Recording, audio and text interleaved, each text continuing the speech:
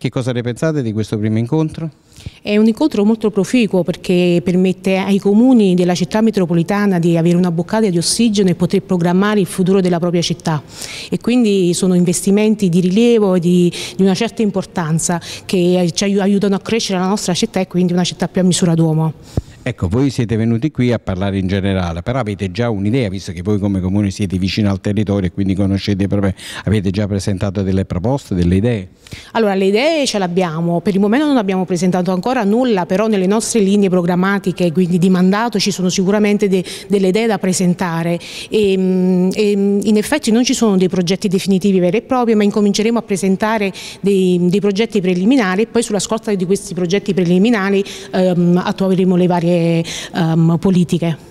Ecco, un'ultima domanda. In questi quattro anni di inizio della città metropolitana c'è stata una scarsa partecipazione tra comuni e città metropolitana. Insomma, si sono visti pochi comuni. Pensate che possa iniziare un nuovo percorso?